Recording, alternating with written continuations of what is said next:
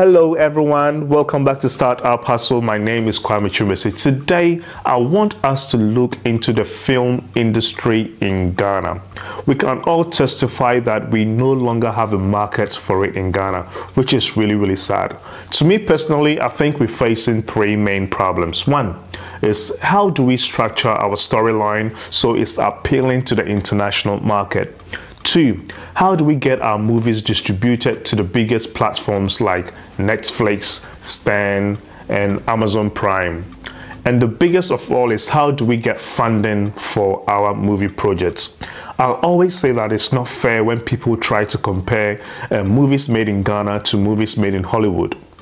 Movies made in Hollywood could have got a budget to could have had a budget of like a billion dollars, and movies made in Ghana could have had a budget of like ten thousand to twenty thousand dollars. So it's not fair.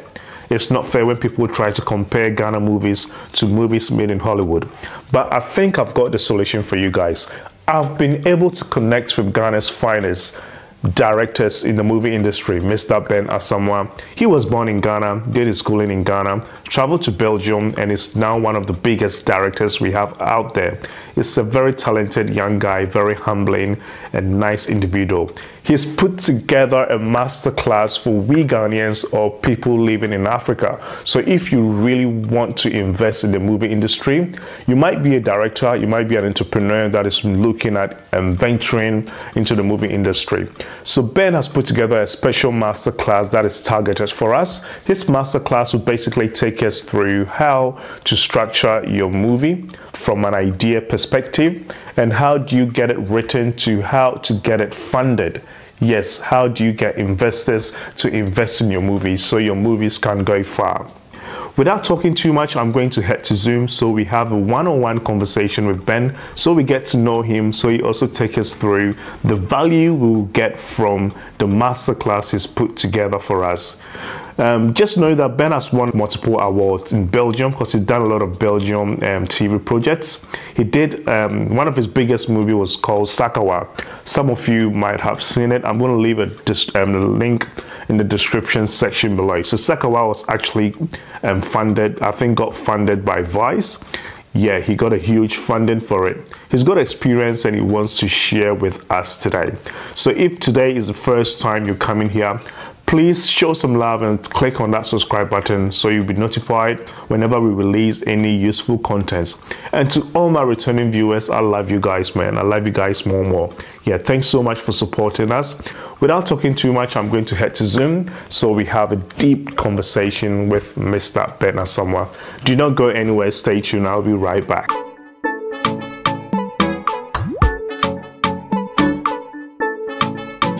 Mr ben Yes, my brother. Akwaba. Yeah, yeah, yeah. Yeah, Oh, awesome, awesome. Nice connecting with you. Okay, so today we're going to do a deep dive into your masterclass about film. But before we do that, I want our audience to know who you are because I feel like only few people in Ghana know who you are. I've seen your video about Sakawa. That was the masterpiece. We'll talk about that later on today. But who is Ben Asamoah? Yeah, thank you very much, my brother. Um, so my name is Ben Asamoah, as you rightfully mentioned. I'm a third culture kid. I was born in Ghana, grew up in Belgium, and lived both in Switzerland and the UK.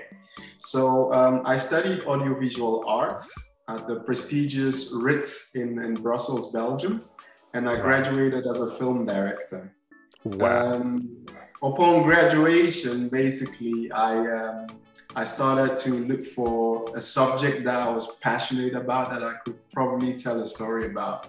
So um, I lived in Belgium and worked for years while on the film projects, looking for subjects that might be relevant to, to work on it. So just a bit of an idea. Um, I'm a Ghanaian still, so I still speak the local language. Awesome, uh, awesome. Aside that, I speak uh, Dutch, so I'm very fluent uh, to a native level speaking uh, Dutch and Flemish. Um, I also speak English. I understand French and uh, German to a certain level as well. Wow. So, so yeah. you, you're a man of the world. absolutely. Absolutely. Wow. Wow. Wow. Did you ever live in Ghana or? Yes, absolutely. So I was born in Ghana, but my mom moved to Belgium when I was four years old. And uh, she took me with her. So during that time period, I was in a boarding school in Ghana, uh, sorry, in Belgium. But my mom moved back in 96 to start a business in Ghana. And since I was a bit too young, she took me with her. And Okay. between the ages of uh, 11 to 15, I stayed in Ghana. I did my JSS there, went to boarding school. So Oh, wow. that's my connection with Ghana. Okay, okay. And since then, so okay, so from age zero to four, you were in Ghana, moved to Belgium, came back at eleven. Was it eleven Yes. years? Eleven. And how long did you stay for? I stayed roughly about five years in Ghana. Five years. But, um, even while I was in Belgium, by the way, um, during the summer times, we always used to go back. So um, just to give you a little bit of an idea, my mom is from the central region. oh, so you Um, speak Fanti? Yes. well, Is that why? We will talk about the Sakawa movie, but is that why all the the cast in the Sakawa movie they were all talking about? Um, they were all speaking the Fanti language. Is that why? Is ah, okay. Yes, that's uh, okay. one of the reasons why. Um, I, I filmed at different locations in Ghana as well, but mainly I filmed in the central region. Yeah. in the central So, region. Yeah, so I'm a Fanti, uh, but my dad is from the Ashanti region. So uh, he's Okay. originally from Obuasi. So, Obuasi. um, Okay, so you're half and half. Yes, I'm half and half. Okay, okay, that's awesome. Okay, so I actually saw the movie. So, guys, if you've not seen his film about Sakawa, I'm gonna leave a link in the description section below. Please go watch it out. It's amazing. I like the way um he, he took like the storytelling of the Sakawa was so amazing. Because normally in Ghana, when you talk about Sakawa, a lot of people tend to bash them because they feel like it's an illegal activity.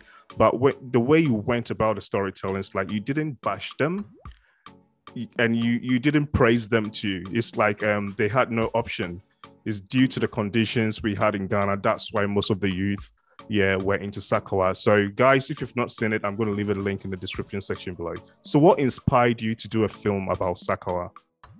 Yeah, that's a really good question, my brother. Um, so during the ages of 11 and 16, um, when I moved back to Ghana, I was in a boarding school. And um, fast forward, after completing the university in, in Belgium, I'm, I went back to Ghana, and my fellow students, uh, my fellow colleagues that basically I was in boarding school with, they were all doing this activity when I came back.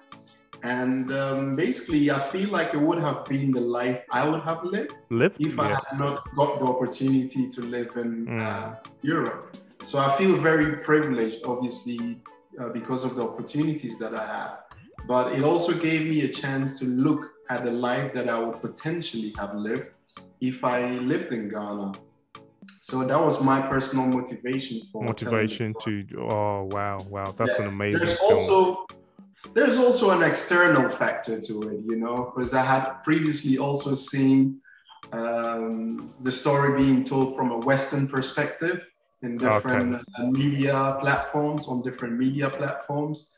So I it, tended to make me a little bit annoyed, I would say, because they um, painted the act black. Like when you hear about Sakawa, like Scammers in Yeah. Ghana, they painted it black, but you didn't do that.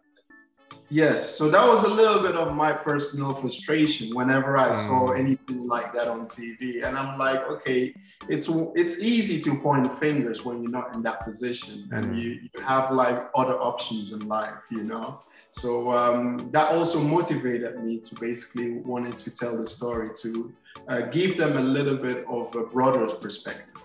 Okay, okay, okay. That's an awesome, awesome. Okay, all right. So now let's switch the conversation a little bit. I know you've got a masterclass that's going to help the um, like young Ghanaians that want to get into the film industry. Yeah, Mhm. but before we get into that, um, the film industry in Ghana is dying. Mhm. okay, I'm going to confidently say that we have no market for it. Yeah, Mhm. when, when you talk of Ghallywood, it's like gone. It's gone, Mm. gone. Yeah. Why? Why is it so? Is it something we're not doing wrong? Is it because we we because we a lot of Ghanaians, we Ghanaians especially, we have a lot of story to tell. So Absolutely. what? Why is it that Ghana we got a lot of story to tell, but when it comes to the film industry, we're doing really bad, and it's got to the point that it's like gone from the system. If you want to find a Ghanaian movie, you basically have to go on YouTube, and yeah, yeah and the quality. I'm, I'm not trying to bash it, but mm. we are doing a terrible job.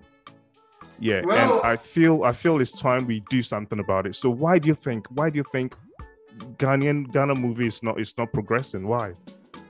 Yeah, this is a really good question. Um, and it's a very big question for that matter. But there are different factors that led to this situation where we find ourselves in.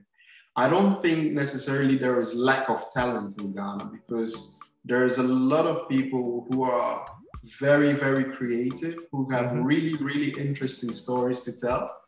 Um, but there are certain factors, as I mentioned. One of them is funding. So, mm. um, it's a very important aspect of filmmaking, uh, which should definitely not be um, ignored.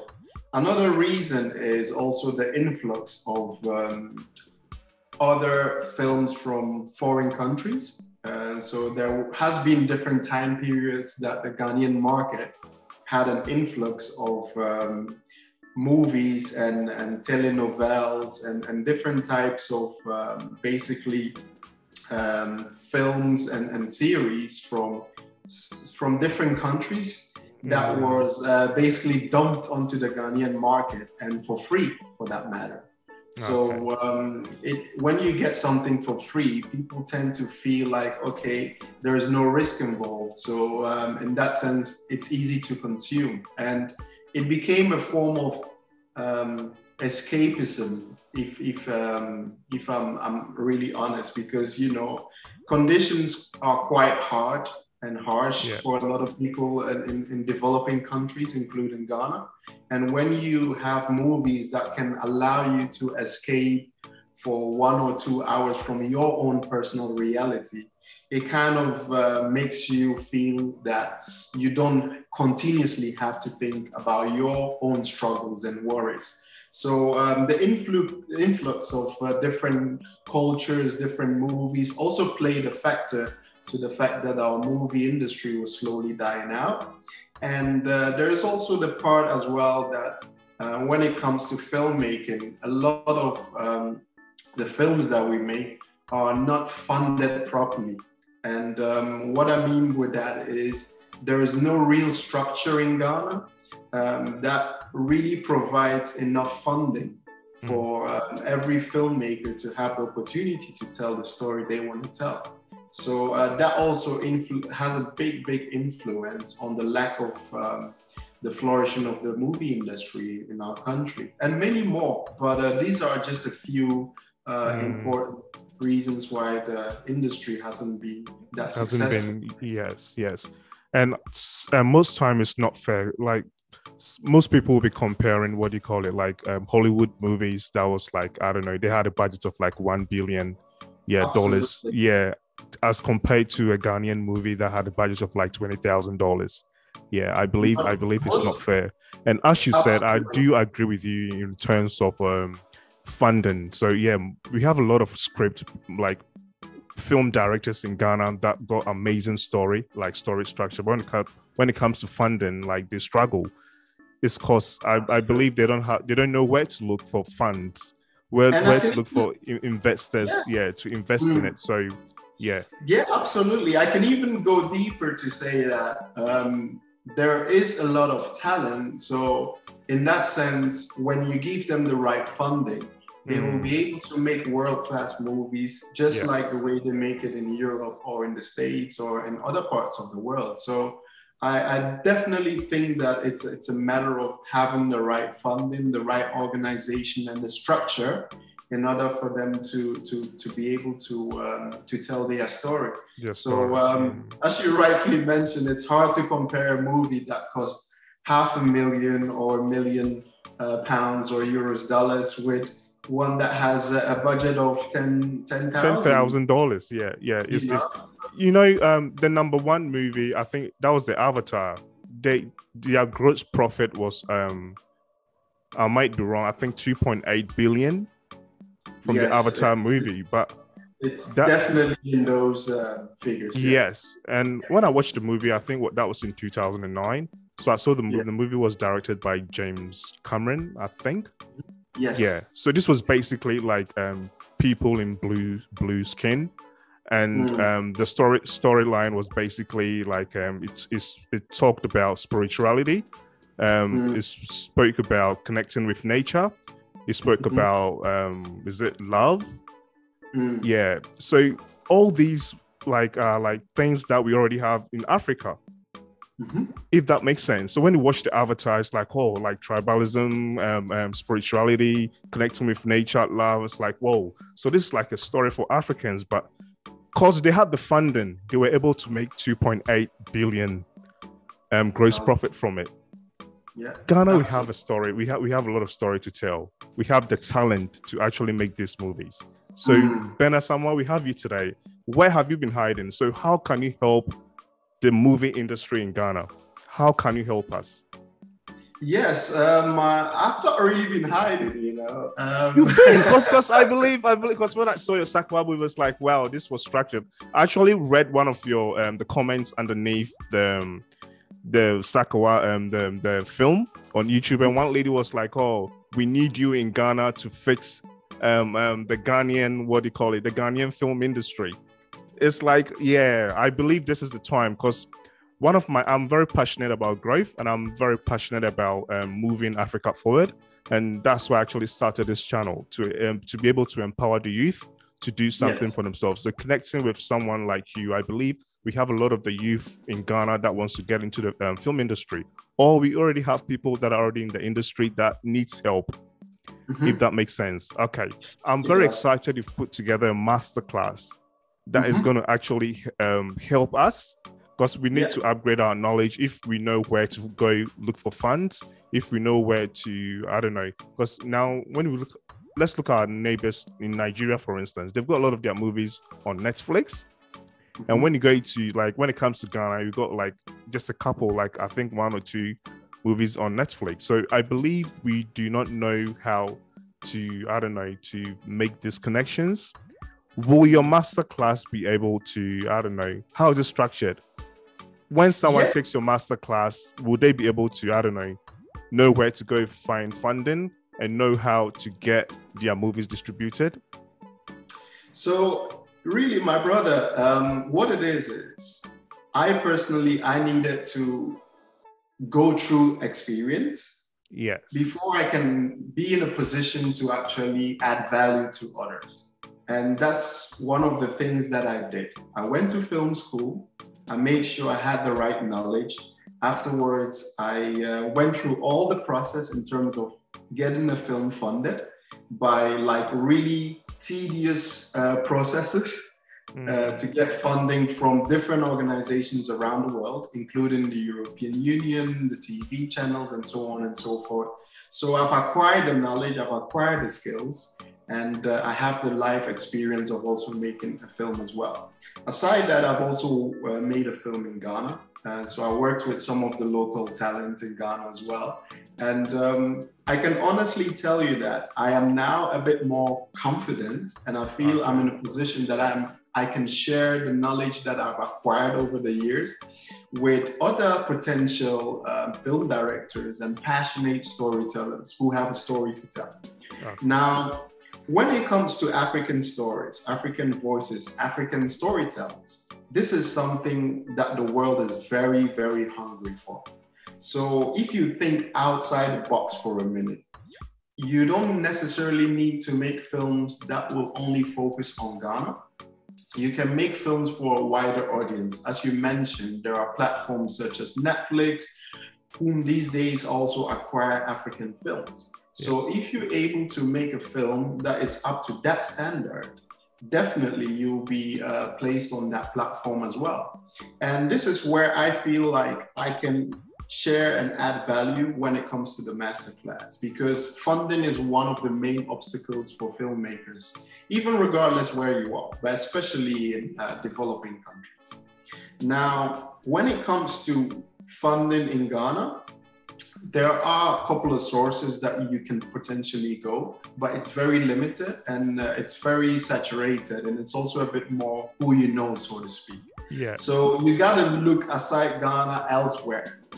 In that sense, there are different countries all around the world, in Europe, in America, even in Australia, that provide funding for filmmakers all around the world. Yes. And this is something that I can share with anyone who um, attends this masterclass because I know the exact places, the exact contact details, and everything that I can provide in order for you to submit your project and increase your chances of getting funding. Now, one of the important things when it comes to funding is making sure like you put together a compelling presentation as well. It's very, very important because you're going to compete with a lot of other film directors from different countries. So, in terms of the funding, it is quite a lot of money that you can get uh, from the different organizations around the world. But you need to make sure, like, you have a very, very strong or very, com- um, you know, when you have a very strong and compelling. Sorry? When you, you need to have like a strong pitch for your investors, yes, right? Absolutely. Yes. Mm. And uh, in the masterclass, my intention is to go step by step and teach you all the important things that needs to be inside the presentation. So okay. we can talk about things like, as you mentioned, a pitch. A pitch is basically one line that your movie is all about. So you need to be able to be very precise. And when someone asks you, what is your movie about? You don't need to tell the whole story. Just in one sentence, be able to tell you what the film is about. So this is one of the things that I'll go through when it comes to the masterclass. Another thing is why you are the one suitable to tell the story or why you are the qualified person. Because if I make a movie about Eskimos, for example, mm. I'm a Ghanaian, or at least I have Ghanaian roots, I lived in Ghana. So I might not be the most qualified person to talk about Eskimos because my country is hot, isn't it? Yeah. And Eskimos it's quite different uh, yeah. uh, atmosphere and temperature. So when you submit your your dossiers, they look at things like that as well. So this is one of the things that I'll go through as well when it comes to what they call a director's note. So okay. it's a one-page document where you sort of need to explain why you're the qualified person to tell that story. In essence, you're selling yourself. Okay. Um, Aside that, you also need to have what they call um, relevance to society. It's also a one page document which you need to explain why the story needs to be told. You know, why is it important for that story to be told right now and not within 10 years, not within five years, or why wasn't it told last year? So these are all important things that you need to make sure you put in the documents. Then there are other things such as uh, the treatment itself, which is also very important. So um, I will share with you a structure that is very important when it comes to storytelling. So it's not just a matter of writing sentences to fill the page. It's a matter of structuring your story. What's the beginning? What's the middle? What's the end? There is something that we call like an eight sequence structure. When you watch a lot of the Hollywood films, they are all based on eight sequence structure. So it starts from what they call an exposition. That means in exposition, you tell who, what, where, why. You have to tell all the important details about your main character, about your main character within that document, as uh, within the treatment, as well as when it comes to, let's say, the eight sequence, that is like the resolution so the resolution comes after the climax. So when you have the climax is in Ghana, what we, used to call uh, the Broman versus Killer. The, type the Broman versus Killer. yes. Good, so good it's the last oh. it's the good old days. Good old days. Yeah, the last killer. Yeah. Oh. yeah. So you, that is what they call the seven uh, sequence. In the eighth sequence is when the Broman has killed the killer and returns to his family or rescues whoever he needs to rescue. That is what they call the resolution. So when you are structuring a story, you need to go through an eight sequence structure in order to have a very powerful and compelling story. Um, it, these are some of the things that are important uh, for your films to get funded as well. And um, aside that, there's also something which we call uh, film style. So every film has a particular style. You can film in a way which is, it's called visual style. So you can film a film with a camera, which is handheld. You can film on a tripod. You can also film um, with using uh, trails. So whereby uh, the film has a lot of camera movements, drones, and things like that. All these are belong to uh, storytelling language. So wow. you need to understand the purpose and when exactly to use those elements. And these are all important things that I believe I can help when it comes to the masterclass in making sure like they have the right presentation to get the funding. And last but not the least is also the budgeting. It's also very, very important. How much money do you ask for in order to get your film approved? So even though the funding monies there are there is a maximum and a minimum, how do you make sure like you write in the right amount? Because you need to have a breakdown sheet that also explains which funds will be allocated to which purpose or which funds will be allocated to whatever it is basically so you need to really make sure like in your document you have everything waterproof bulletproof ready wow. so that it wow. will not be denied, denied. from funding I think I'm, I'm, I'm, I'm made testify. I've learned a lot of things just now. Wow. Now I'm going to give a lot of respect to like all these film directors and filmmakers. I basically thought, yeah, they just, I don't know, take a camera, action, mm-hmm. they just start killing each other, and yep, the movie's over. Wow. I never knew we had like every film like had a lot of details and a lot of what do you call it? A lot went into the filmmaking. Wow, Absolutely. wow, wow, Absolutely. wow. It's wow. very structured very it's structured. Very, very, okay. I think Disney uses this structure a lot. Mm-hmm, yeah, because in most of the Disney movies, yeah, like the prince and the princess, someone is go, someone will kidnap the princess. The princess will have to go train and go save the princess. End of the day, they get married and yay. I think yeah, it's it's all structured. Okay, so Absolutely. how how long does the master class go for? Is it like um is it going to be like a long course, like for a year, a month, or is just like um, right straight to the point sort of um, classes that goes for let's say three days or like 45 minutes or one hour? So how long does it go for? Yeah, absolutely. In terms of uh, attention span, um, it's better to break down a master class in, in, in different sessions. Just okay. because if you give too much information at one moment, it's an information overload to a lot of people. Yeah. And uh, yeah. science has taught us that it's important to have breaks and so on and so forth because the attention span is not that long. So based on that, I believe a 45 minute session will be uh, ideal. And um, from what I think um, will be the best will be uh, four sessions of 45 minutes. Okay. Okay. And yes. is is it going to be in the form of um like an online course or like a webinar or yeah how how is it going to be how is how are you going to deliver the course to your audience? Yeah, I think the best way at the moment um, when it comes to Ghana is to do like an, an online webinar.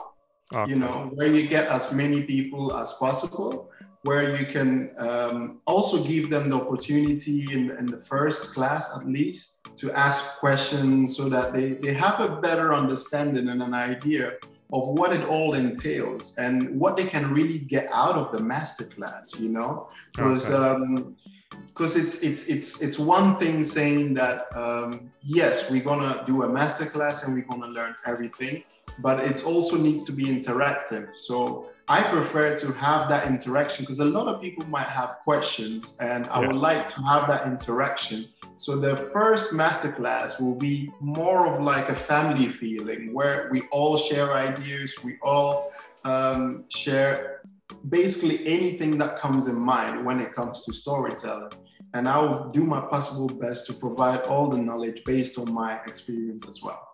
Okay. Is this masterclass um, only targeted for Ghanaians or can people in like the rest of the African countries join? At the moment, um, I feel like the masterclass that I'm doing will not necessarily be only for Ghanaians, but okay. I have Ghana in mind.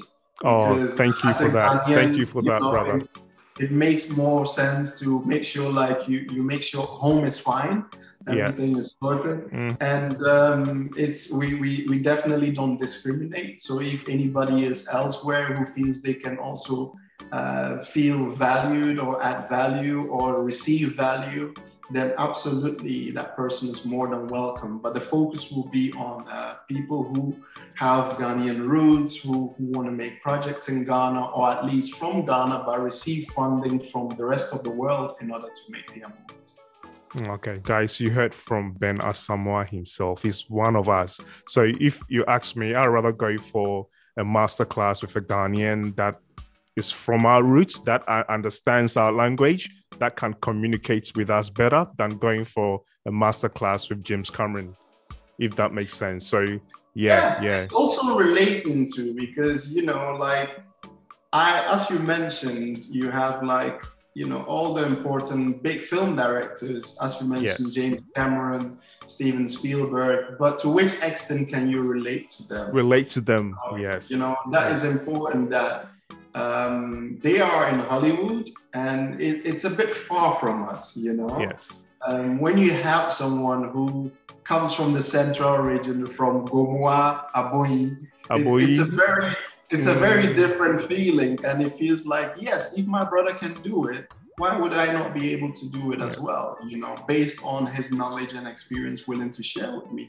I can speak the local language with him, you know, and it, it helps bond in compared to uh, an established Hollywood film director who has got no idea of, of, of um, your situation or your yeah background. some got no idea where ghana is they think uh, africa they don't know africa is a continent they just feel africa is just one country so yeah mm-hmm. okay Absolutely. so how, how can someone join this master course yeah, so this, the idea is for us to um, organize uh, via you, your platform as well. I believe like a collaboration with you will be ideal oh, because um, I'm you open. You already yes. have a really good platform and mm you've been uh, quite inspiring in terms of sharing knowledge with um, uh, a lot of Ghanaians who want to do business in Ghana, yes. who want to yes. enter different avenues and, and make some income for themselves. So I, I personally, I feel like you're already adding value, sharing knowledge, and um, I feel like it's in that sense, it's also aligned. So um, the the idea will be to work together with you and make sure like they we, we provide them with a link, okay. a place that they can follow the steps and in order for them to log in on the webinar when the time is right. So yeah, um, the communication will be done together with you. Okay, okay, that sounds awesome, and I'm ready and open. So guys, I'm going to work with um, Mr. Ben Asamoah um, back end. Then we'll provide a link in the description section below. So if you want to join this masterclass, please click on the link in the description section below now. Because before I'll upload this video on YouTube, I'll make sure we've done our homework and we've provided you with a link to join this masterclass. Trust me, you don't want to miss this. He's won a lot of awards in Belgium.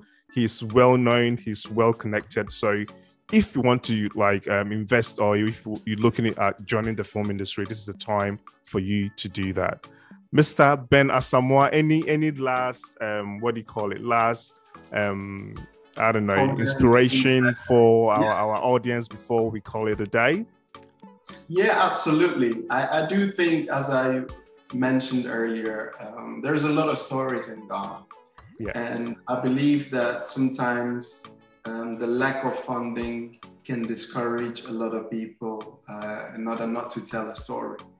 And um, one thing that I also like to mention is that it's important as a storyteller to also make sure like you speak to people who have experienced um, how it is to make a film because i went to film school in belgium and one thing that i learned throughout was that the teachers who actually uh, gave me the, the, the, the teachers who taught me, they most of them haven't not made a film before.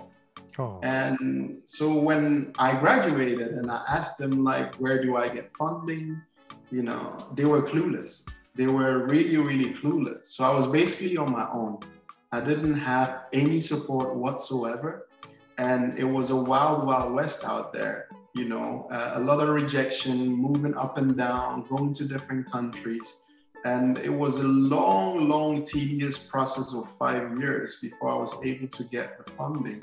So wow. I think it can definitely be valuable for me to share my knowledge with anyone who wants to make a movie because um, it will save you not only time, but also energy, and on the long run, also money. And um, I do believe that it, it makes sense that you you get the knowledge from someone who has actually gone through the process and made a movie before and, and that's why I made the reference that a lot of my teachers teach, but they never taught me about funding.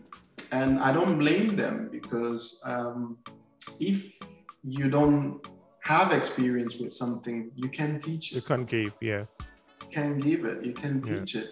And this is something that I had to discover the hard way. So I, I would suggest anyone who has a strong desire of uh, making a movie who believes is capable of telling a story should join the, the webinar. It will be very useful and uh, they are more than willing to ask any question whatsoever.